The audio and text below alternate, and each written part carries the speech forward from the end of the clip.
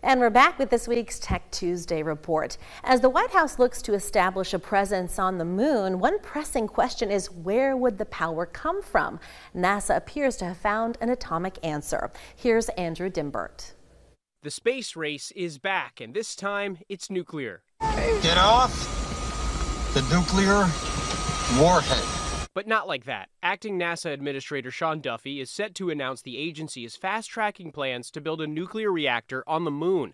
Documents obtained by Politico reveal NASA will solicit proposals for a 100 kilowatt nuclear reactor that would launch to the lunar surface by 2030. And we're going back to the moon in order to learn to live, to work, to survive. NASA has made returning to the moon and establishing a lasting human presence there a top priority. Power is key to building bases, supporting crews, and staying long term.